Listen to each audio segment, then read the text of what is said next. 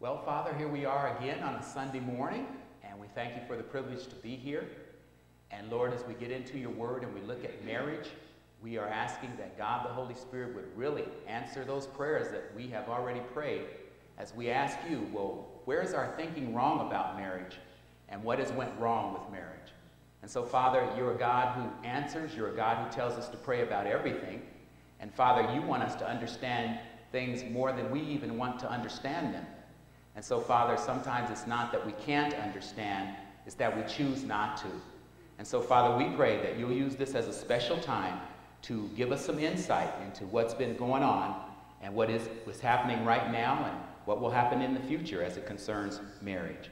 So we want to just commit this time to you and thank you in advance for what you're going to do above and beyond what we could ask or think. So, Father, we look forward to this excitingly to hear from you today. And we thank you. You're faithful. And um, you speak, Lord. And we pray you'll enable us to listen. In Christ's name we pray. Amen. If you have your bulletin, I'd like for you to stand with me, or you can just simply look on the screen, and we're going to have the scripture reading of the verses that are in your bulletin. I'm going to do this just a slight bit different this morning. What I want to do is I'm going to give, um, I'm going to read the first two verses, which are Genesis chapter 1, verses 27 through 28, and then you're going to join me at Genesis chapter 3, verses 1 through 7, okay? So I'll go solo for a couple of verses, and then we'll go corporate after that. God created man in his own image. In the image of God, he created him. Male and female, he created them. God blessed them, and God said to them, Be fruitful and multiply, and fill the earth, and subdue it, and rule over the fish of the sea, and over the birds of the sky, and over every living thing that moves on the earth. Now the serpent was more crafty than any beast of the field which the Lord God had made. And he said to the woman, Indeed, has God said, You shall not eat from any tree in the garden? The woman said to the serpent, From the fruit of the trees of the garden we may eat, but from the fruit of the tree which is in the middle of the garden, God has said, You shall not eat from it or touch it, or you will die. The serpent said to the woman, You shall surely not die. For God knows in the day that you eat from it, your eyes will be opened, and you will be like God, knowing good and evil. When the woman saw that the tree was good for food, and that it was a delight to the eyes, and that the tree was desirable to make one wise, she took from its fruit and ate. And she gave also to her husband with her, and he ate. Then the eyes of both of them were opened, and they knew that they were naked. And they sewed fig leaves together and made themselves loin coverings. Thank you very much. You may be seated.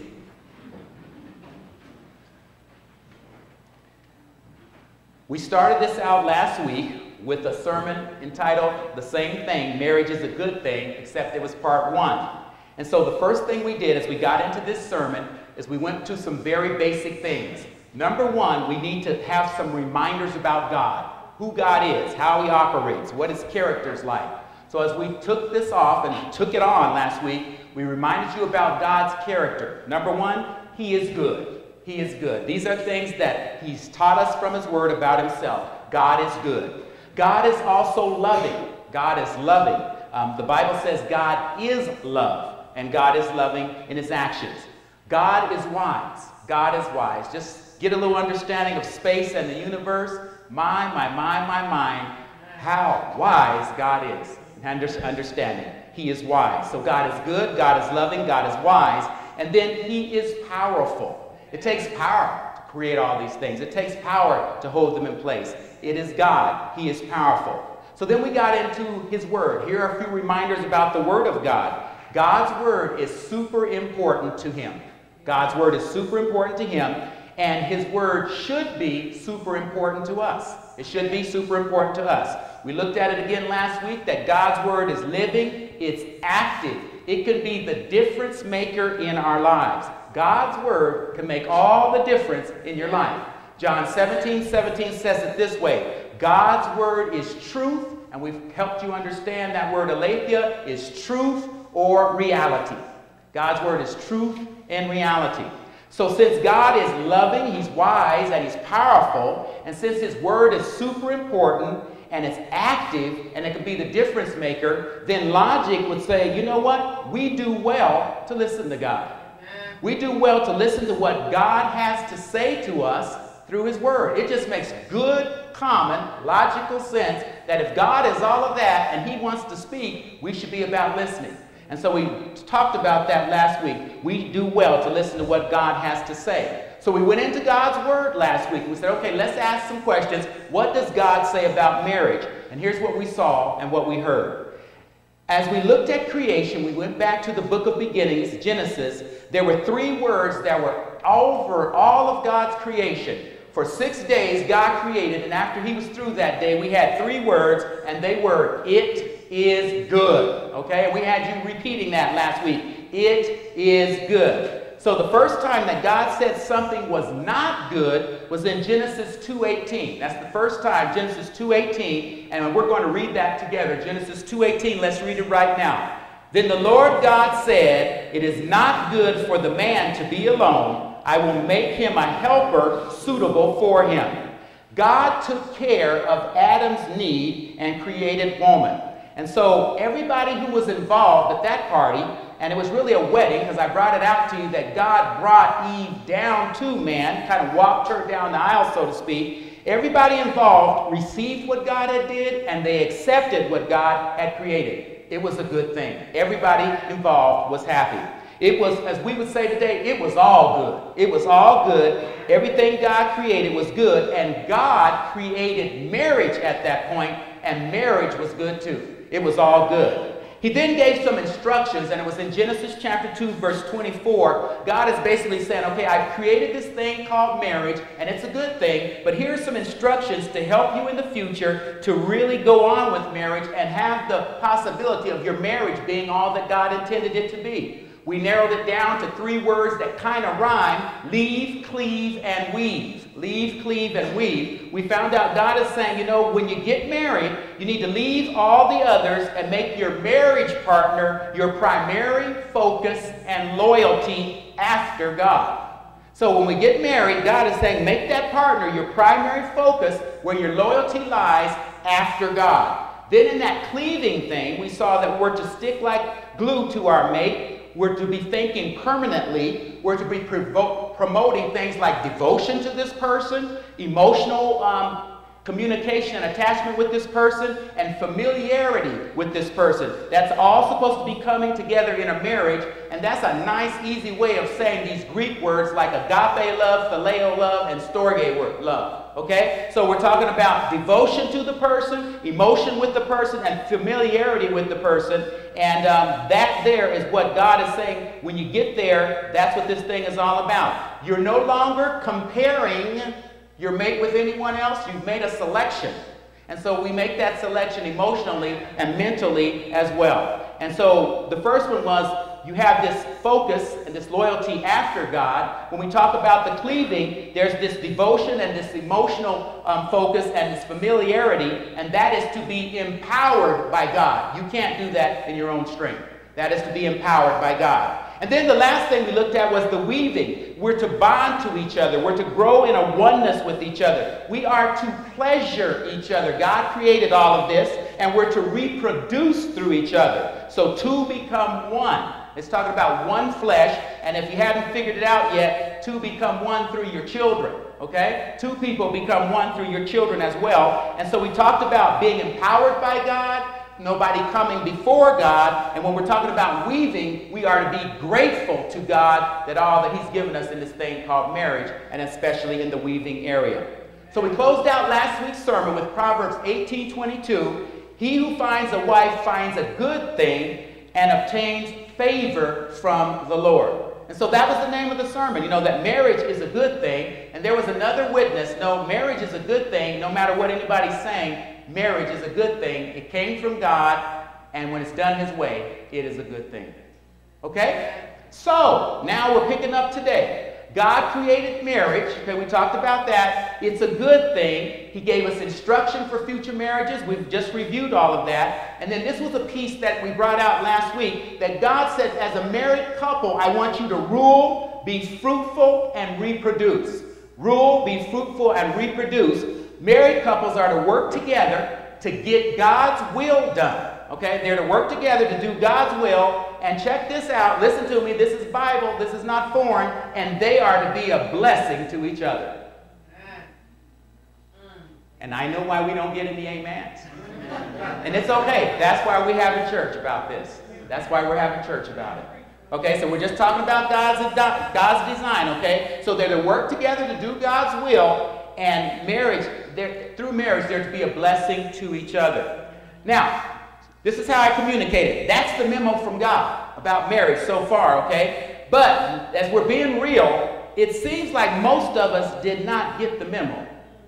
We didn't get the memo. Um, it's kind of like Pastor Ron's got this thing and he's doing all these texts and he's got this phone, and it's not a smartphone, it's a dumb phone.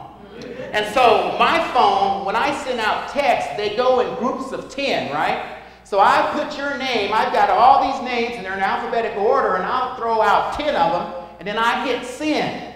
Well, what happens to me is, with my dumb phone, if one of you hits me and sends me a text right back, my phone is still sending out the other ones, and then what happens is it's a dumb phone and it says, I don't know what to do. so it just freezes up.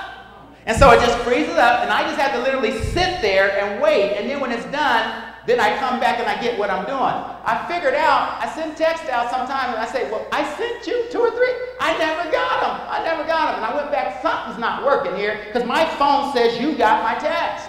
Well, see, my phone is a dumb phone. It can't, it can't multitask.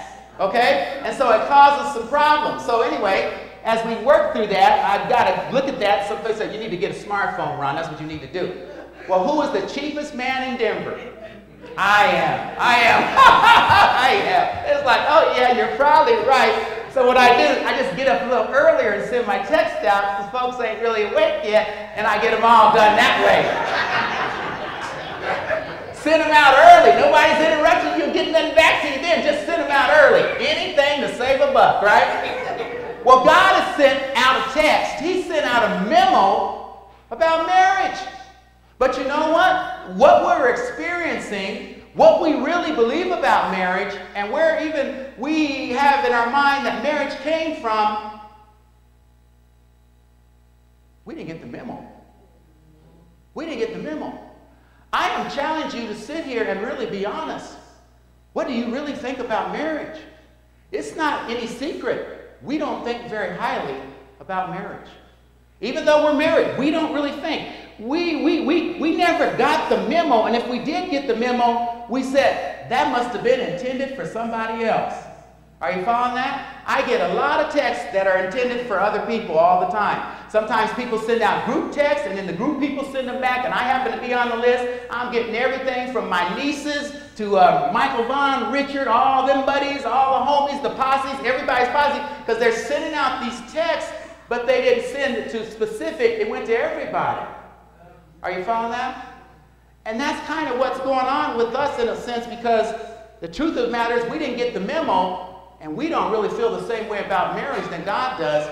And we're here to deal with this and be honest about it. Okay, that's where we're going. Because see, we don't want to stay in the same place. We need to hear God's memo. And so my job is to get this memo here, okay? Um, seems like most people don't want to get married in our society. We can study statistics. You hang here with me. They don't want to get married. And then check this out. It is so uh, uh ironic the people who want to get married and are passionate about married, being married and are fighting for married are people that God said in the memo, if you can't reproduce, you can't be married. If you can't reproduce together, that's not a marriage. You're not married. You're not. That's what the memo said. They didn't get the memo either. Are you following this? So the people who want to be married are people that God is saying don't get married, and the people who should be wanting to get married are the people who don't want to get married. So, what in the world is wrong with marriage? Oh, we said it. It's not anything really wrong with marriage as God designed it. It's our version of marriage does not resemble God's version of marriage. Our version of marriage today does not resemble God's version of marriage. Um, our version of marriage, shock and amaze you, you already know this, it ain't cutting it. Our version of marriage is not working. It's not working. Why? Why? So let's go back to the beginnings. In Genesis chapter 3, we're going to look at the beginnings and we're going to see if we can find out why our version of marriage is not working. So we're going to read Genesis 3 1 together, okay? Genesis 3 1. Let's read it together. Now the serpent was more crafty than any beast of the field which the Lord God had made. And he said to the woman, Indeed, has God said, You shall not eat from any tree in the garden? Okay, we're going to look at this thing. What's going on here?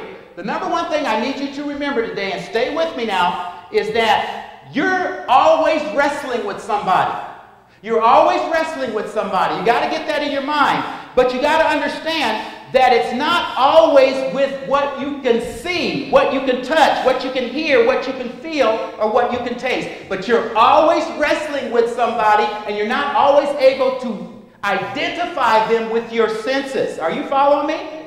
Your real battle, listen to the saints, and you know it, but please hear me again. Your real battle is never the person, it is the person behind the person that you're dealing with and there's somebody behind everybody. Are you following this? So it's the real battle, it's the person um, behind that person. It's behind the person that you see and you touch and you hear and you even feel. If we fail to see this, that you've got to function on who's behind the person, you've got to focus on that who's behind the person, we're going to lose the battle every time. We're going to lose the battle every time. So you may ask, well, Ron, how do I see the unseen? Ron, how do I touch the untouchable? Ron, how do I hear the unhearable? How do I feel the invisible? Ron, how do I taste something that is not tastable? You already know this, but listen to me closely. You see, hear, touch, feel, and taste those things that aren't able to be done that way in the physical by the Word of God. It's the Word of God that tells you what's really going on. What is God's Word? It is truth or reality. That's what God's Word is, okay? And when we talk about faith, you've heard it so much in this church, you should never have to have it repeated. But faith is not a blind jump and leap in the dark. Faith is not having positive thoughts and, and, and believing something hard enough. Faith is always based on facts. Faith is a courtroom type term. You don't come in a courtroom talking about, I wish, I feel, or no. No. What are the facts? The faith that God is talking about, biblical faith, is always based on the facts of God's Word. The bottom line is, what has God said about this? That's the bottom line. And that's how we live by faith, knowing what God has said and then acting appropriately. So that's how you get it. That's how you feel it. That's how you see these invisible things, believing God's word. So let's look a little closer at verse 1. Dig in with me, stay with me. The first thing that the enemy does is to bring confusion or doubt about what God has said. Bring you into some confusion. Bring you into some doubt about what God has said. Did God really say that? Did he really say that? Um, it's indeed, truly is there. We would say today, Really? Really? That's how we would say it. Somebody's coming to you. He's coming at you going, Really? Did God say that? Or really? You believe that? That's what's happening. Are you following that? That's where, that's where the enemy gets us. He gets us to be confused or doubt God's word. Listen, did you read the text there? Look at it again. He asked the question of Eve Did God say you can't eat from any tree? Okay, did you get that? Did you get that? Any tree? He went to exaggerate. Sometimes exaggerations throw us off. Okay, and so at you, I, I told you already. At this particular time in history, everybody in the garden, including the snake, was vegetarian. I already taught you that. I walked you through that. So if God said don't eat from any tree, nobody was going to be alive. Okay, so God, God never said that. You have to understand, the enemy distorts God's word. God's word is truth, right? And so when the word of God is distorted in our minds, we are on our way downhill. Anything that comes under a distortion of God's word is going downhill. And what has happened is there has been a distortion of God's word concerning marriage, and marriage has been going downhill ever since. Are you following this? There's been a distortion. There was, there, there, there was a distortion there. And so she answers there. So he, he starts out getting her confused. He starts out really kind of getting some lies going. So let's look at this as we're looking at marriage. What are some of the lies that human beings are believing right now instead of God's truth? Here are some of these lies God does not exist. God does not exist. That is a lie. God has no name. That is a lie. We have said his name in prayer today. You should have caught that. Everything we're talking about, we have already done that at the beginning of service. Okay? Um, if he does exist, you can't know him or have a personal relationship with him. Ooh, isn't that a big lie? The, the, the creator universe wants nothing more than for you and him to be the very best friends. Uh, here's another one. We weren't created. There was no plan or design for human beings. These are lies that we believe, and they affect marriage. Here's the big one God did not create marriage. Now, listen to this. Have you ever heard of this? Our culture, our society believes that there was a caveman dragging his club and his woman, and that's what the first marriage came from. Y'all seen that before? The caveman, he's got his club and he's dragging his woman by the hair, rubbing her all on the ground and stuff. This is how we humans learn how to do marriage. This is where marriage started, right here. Folks with Triple PhDs believe that instead of this. That's a lie, okay? Um, God's Word can help us see, touch, hear, feel, and taste what's real and show us what we're really dealing with. I hope you're paying attention. I hope you're paying attention. So let's read a little bit more about the serpent and Eve's conversation. Let's read verses 2 and 3 together. The woman said to the serpent, From the fruit of the trees of the garden we may eat. But from the fruit of the tree which is in the middle of the garden,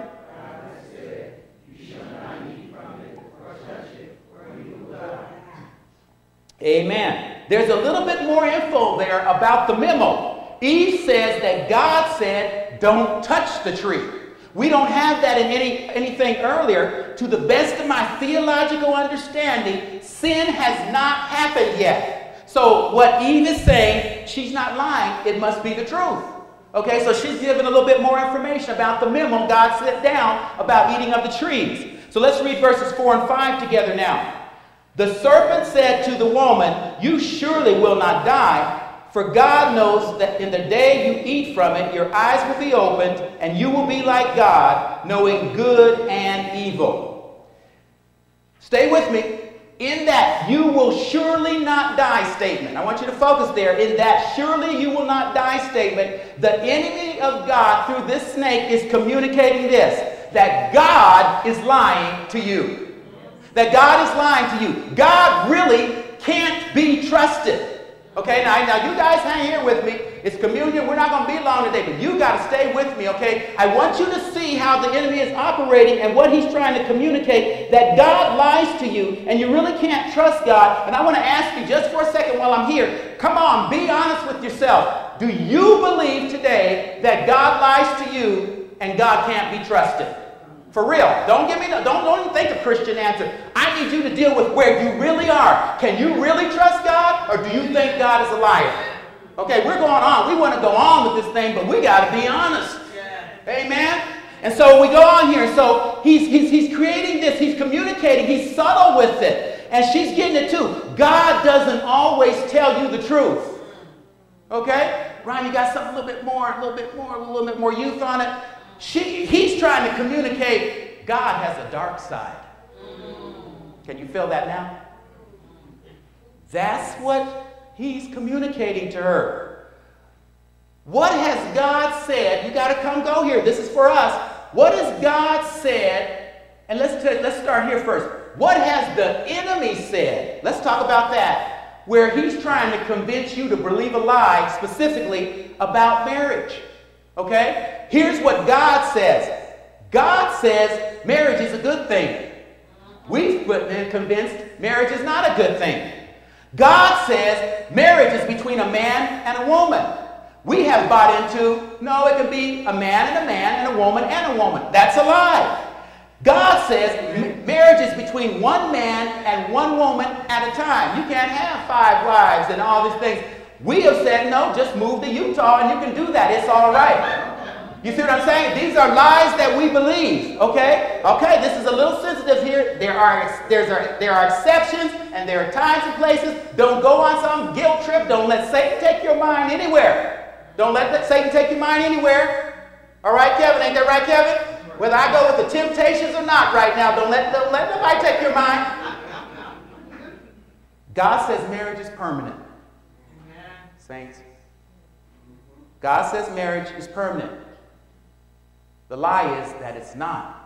And most people go into marriage with a, if it don't work, I'll just get out and get another one. Okay, you following this? These are lies we believe. Now you got to ask yourself today, are you believing these? You got to ask yourself, and you have to be honest about it. God said marriage is a blessing. Yeah. The lie is marriage is a curse. And let's serve some straight whiskey up in here today. And some of us believe it's a curse because we looked at our parents' marriage. It's okay. We don't need any amens. I'm, I'm ready to go. We got to be honest. We have to be honest. What we have seen, if that's what marriage is, I don't want any. Amen. We're, going on. We're going on where God wants us. We got to be honest, though. Okay? We can't repent if we don't know what to repent about. We can't confess if we don't know what our sins are. These are lies that we believe. He did the same thing to her. God's got a dark side. He has made us believe marriage has a dark side. God said marriage is a gift from God. Hallelujah. Anybody happy and shouting and dancing about their marriage?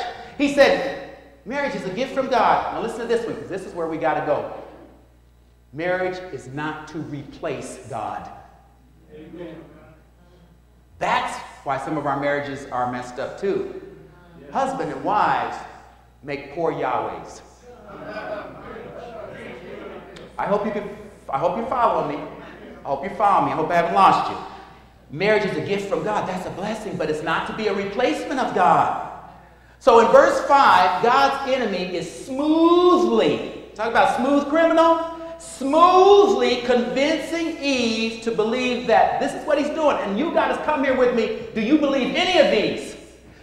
He's convincing Eve that God does not want the best for her.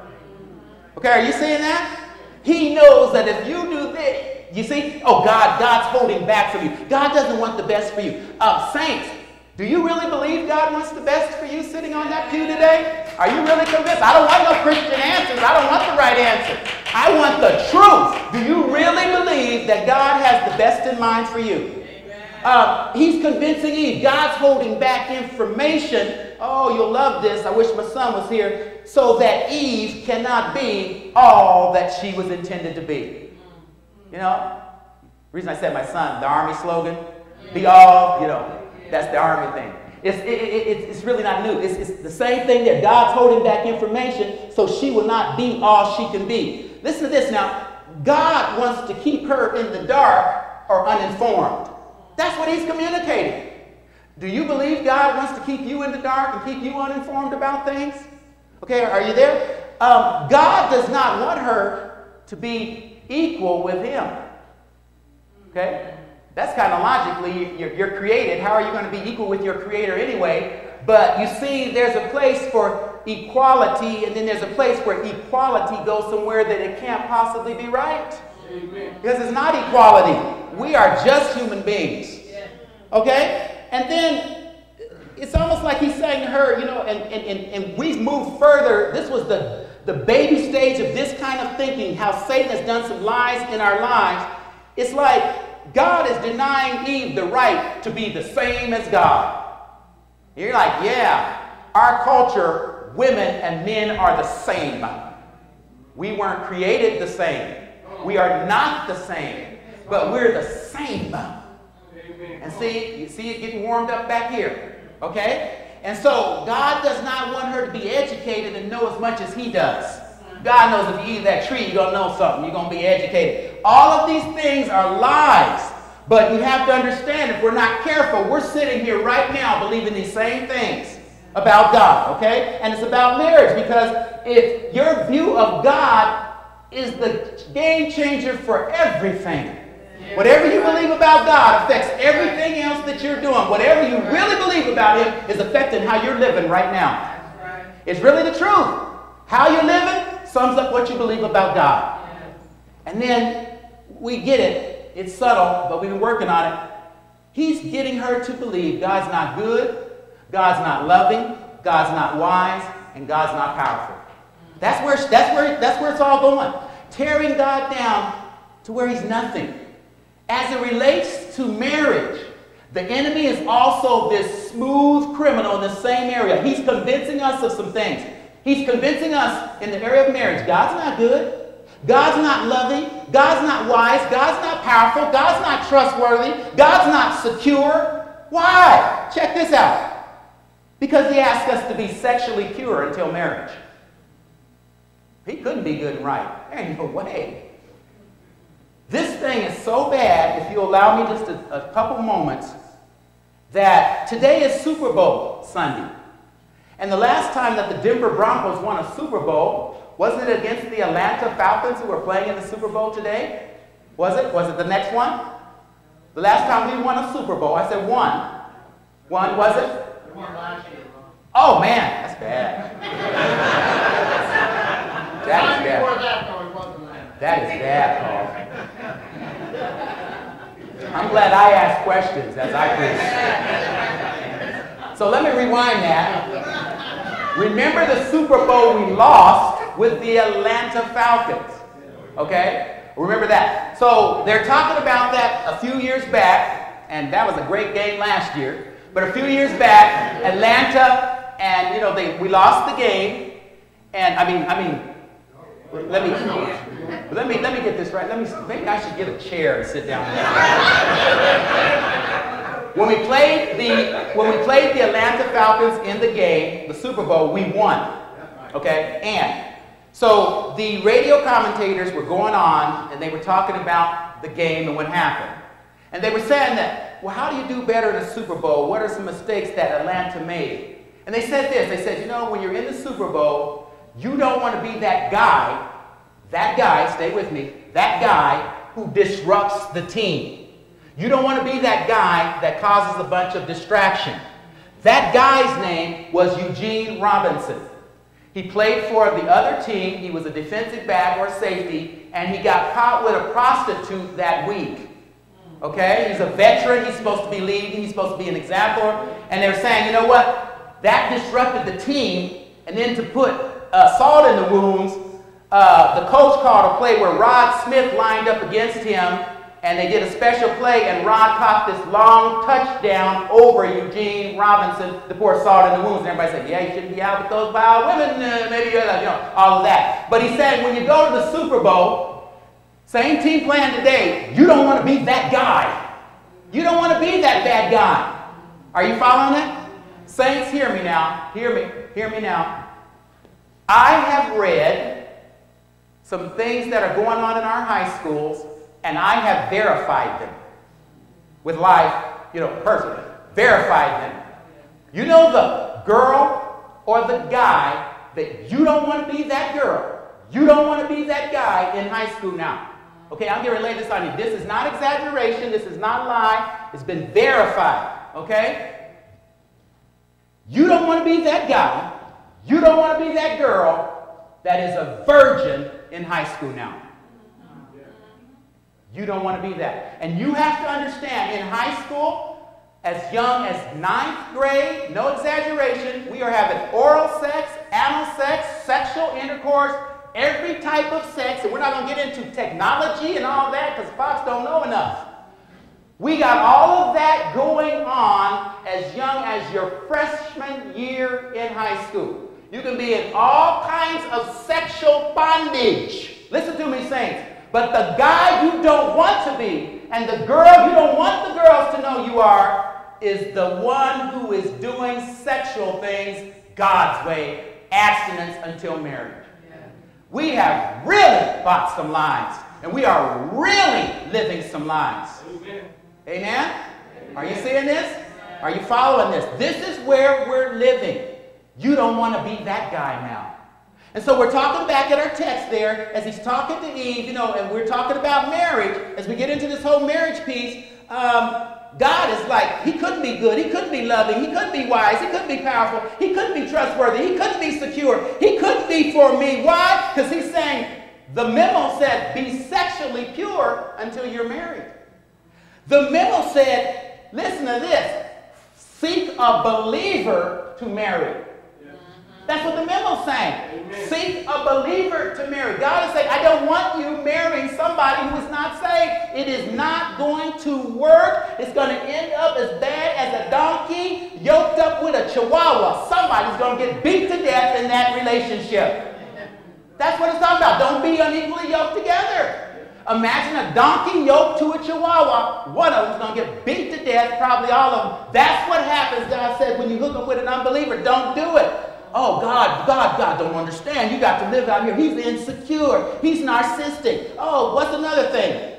Oh, God. Oh, he gets this bad press because he says when you get ready to go sign a lease, I would love to have Mr. and Mrs. with the same name instead of what we're actually getting is Sir and Madam Convenience. Hmm. Did anybody hear me? Did that go over your head? So we go to sign the lease. We don't put Mr. and Mrs. Ron Fox. We put Mr. and Mrs. Convenience. God is saying, no, this living together is not part of the program. It's not part of the memo. I don't care if young people are doing it for economics or older people are doing it for economics. God is saying, no, that's not my plan. We want to get rid of this God. We want to, he's insecure because, man, he's really messing with how we're living. Amen? Amen. And then we're against God because what? This is sensitive. We've got to be careful here. Marriage is to be permanent, not a trial or a tryout. Amen. It's to be permanent. So, oh wow, God's getting a lot of press because this is what the memo calls for, and we don't want to do this. So that's why marriage isn't working for us because we bought into these lies, and these lies lived out destroy marriages. How many times have I said it? 85%, the highest rate of divorce in this country, is for people who live together first. If you live with the person before you married them, you need to be on your knees more than anybody else because it's like you're living with a time bomb that's going to go off and you're going to end up getting divorced. So, gosh, if you're still good, thank God and praise Him.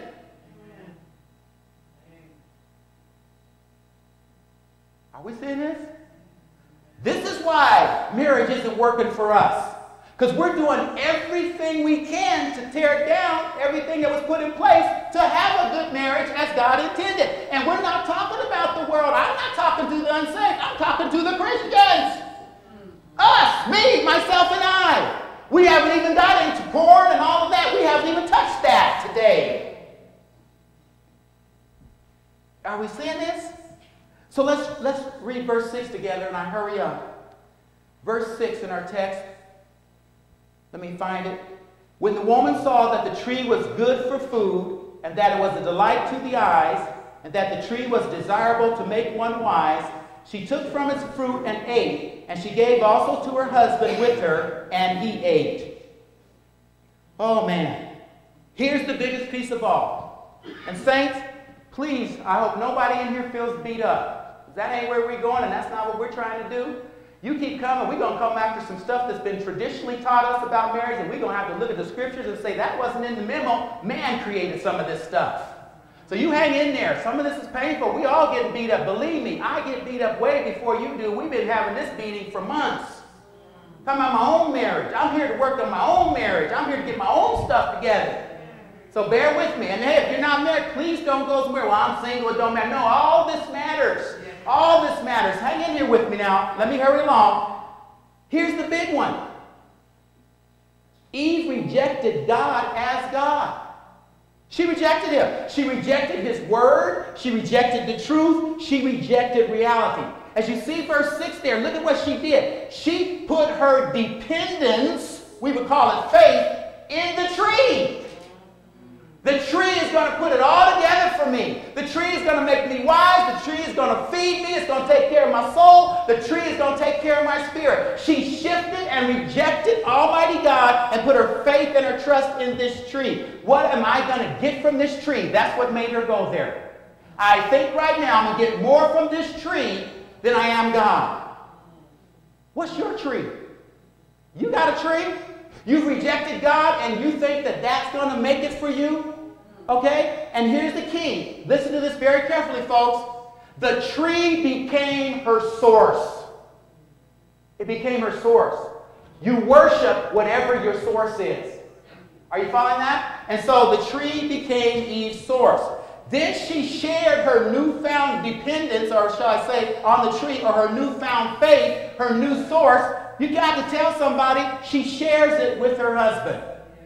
We're not going to get into it today. She was hoodwinked. He knew what was going on, but he went ahead anyway. We're not going to get into that today. We'll save that. But that's what happened. And so then we have verse 7, and I'll just read it. Then the eyes of both of them were opened, and they knew that they were naked, and they sewed fig leaves together and made themselves loin coverings.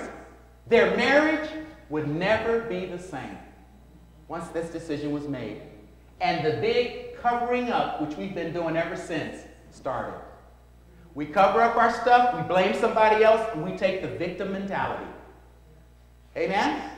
So, marriage, as we have redesigned it, it's not working for us, saints. And why? Because we've rejected God and we've rejected His instruction. God is not the final authority, and God is not the source in our lives. And we got to be honest about it. We got to be honest about it. I'm the final authority and I'm the final source. It isn't God. That's why marriage is not working. You can't do marriage without the power of God flowing from the source of God. It won't work. You can't pull this off in your own strength. It was never intended for us to do it. We have a need for God to do everything God asks us to do. When we reject God, we reject the power source, we reject everything. That's why marriage isn't working. Marriage is not working for us because our hearts cannot be satisfied with substitutes for God. I don't care what your substitute is. Is it your boyfriend, your girlfriend, your wife, your family, your job, your money? Whatever that substitute is, it's eventually going to fail you. And that includes significant others in our lives, no matter how we define them. Your significant other isn't going to work for you in the place of God, whether it's another male or another woman, or it's your dog, your cat, it's your porn, whatever it is. It won't work because God designed you with a need for Him, and nothing can take His place. And no one can take His place, including a husband or a wife. Are we grabbing hold of this, saints? Significant others, even marriage partners, are not capable of meeting your deepest needs. And here are your deepest needs. You have a deep need today, if you don't know it, for love, for acceptance, and for meaning and purpose in your life.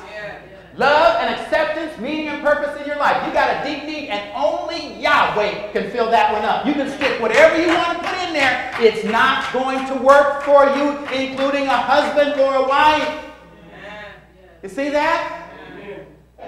Only God can meet these deep needs. Only He can meet these deep longings, whether you're married or not. Only God can meet these. Are you guys grabbing a hold of this? So we have to experience marriage. If we want to experience it the way it's intended, that our deepest needs and longings are being met, they have to be met by God. They got to be met by God. When our deepest needs are met by God His way, then we're freed up. We're empowered by God to love and meet the needs of someone else. You go into marriage with this person going to be your God. You're spending your whole marriage choking and chasing and smothering and going on. Please, please, meet my needs, meet my needs, meet my needs. God says, let me meet your needs. And you won't have as many needs, and you can actually look at somebody else and go help them meet needs. Get their needs met. You see what I'm saying? God wants to use a man to meet the needs of his wife. God wants to use that wife to meet the needs of the husband. But if your needs are not met in him, you can't pull that off because you're trying to get your own needs met. But they're met in God. Not your job, not a new wife, not the porn, whatever it is. It's not cutting it. This is the truth. Marriage is intended by God to meet needs, to be a blessing, and look at this to be an illustration of his love for you. If our marriages are an illustration of God's love for us, we're in some deep kimchi, aren't we? Amen, somebody?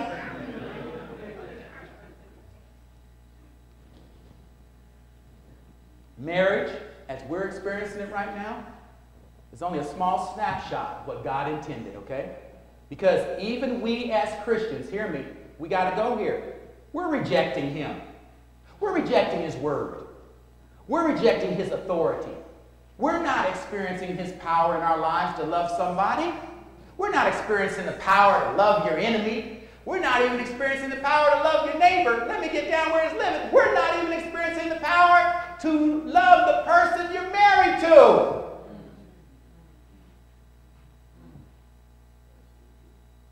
We want to do marriage our way and not God's way.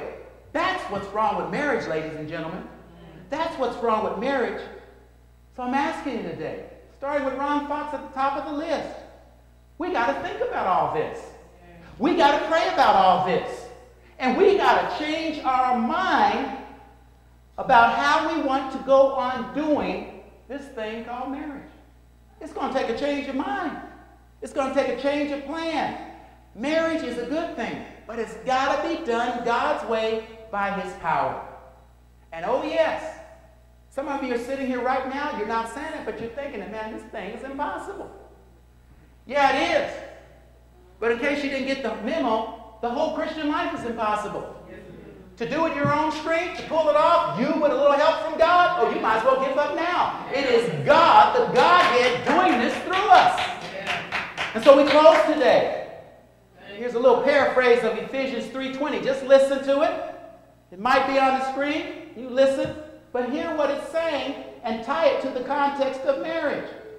Now, to him who by the power that is at work in us is able to carry out his purpose and do super abundantly far over and above all that we ask or think, infinitely beyond our highest prayers, desires, thoughts, hopes, or dreams. God is able. God is able. Did anybody hear? Can somebody say amen? God is able. To God be the glory. Let's close in prayer.